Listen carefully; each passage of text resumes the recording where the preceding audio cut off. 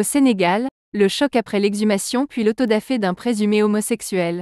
Selon le parquet local de Kaolac, des individus ont exhumé, traîné dehors et brûlé le cadavre d'un homme inhumé la veille, un acte qui aurait motivé par l'homosexualité du défunt. Une foule animée s'agitant autour de ce qui est présenté comme la dépouille d'un homosexuel déterré pour être brûlé.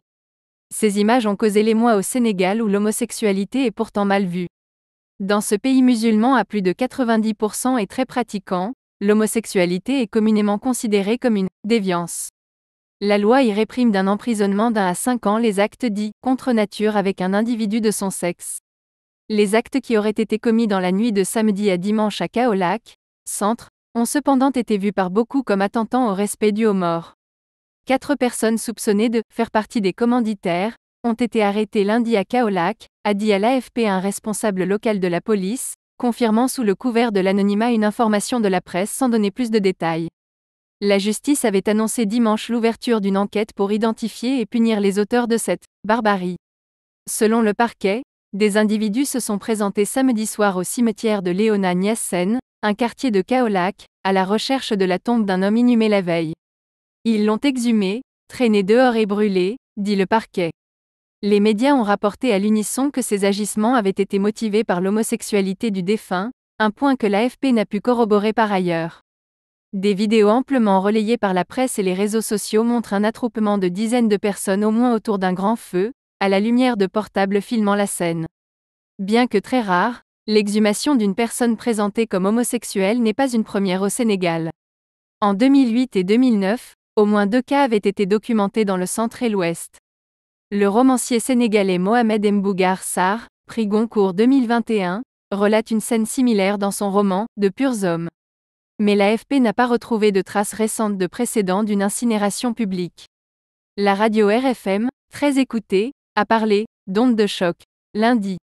Justice populaire, Amnesty International Sénégal, la rencontre africaine pour la défense des droits de l'homme et la Ligue sénégalaise des droits humains ont, dans un communiqué, condamné vigoureusement cet acte qui porte atteinte à la dignité du défunt et de sa famille. Amnesty et d'autres critiquent la condition des homosexuels au Sénégal, forcés de se cacher, préférant l'exil pour certains. Elles disent observer une détérioration de la situation ces dernières années. L'acceptation de l'homosexualité est très faible. Elle est perçue comme allant à l'encontre de la culture nationale. Elle est décriée comme un instrument de l'Occident pour imposer ses valeurs. Elle suscite régulièrement des manifestations pour un durcissement de la loi. Selon plusieurs médias, après sa mort au cours de la semaine, les proches du défunt avaient cherché à l'enterrer dans la ville sainte de Touba, à environ deux heures de route, mais l'information sur son homosexualité l'avait précédé, et la permission de l'inhumer là-bas avait été refusée.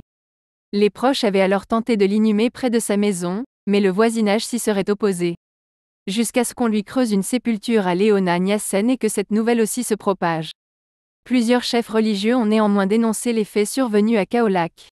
Sérigné Sheikh Tidiane Khalifa Nias, plus haut responsable d'une branche locale de l'influente confrérie religieuse des Tidianes, a exprimé sa profonde indignation et sa condamnation catégorique de l'acte répréhensible qui a été commis à l'encontre d'un individu dont nous n'avons aucune responsabilité sur sa vie privée. Cet acte ne peut en aucun cas être justifié ou toléré, a-t-il dit dans un communiqué. Un responsable du collectif Jikoyi, Ensemble pour la sauvegarde des valeurs, qui lutte pour une criminalisation de l'homosexualité et un alourdissement des peines, a également jugé regrettable cette justice populaire mais il l'a imputé à l'État, qui donnerait l'impression aux Sénégalais de trop protéger les homosexuels. Le collectif avait déposé en décembre 2021 une proposition de loi qui aurait puni l'homosexualité d'une peine de 5 à 10 ans de prison. Le texte a été rejeté par le bureau de l'Assemblée nationale qui a estimé la législation existante assez sévère.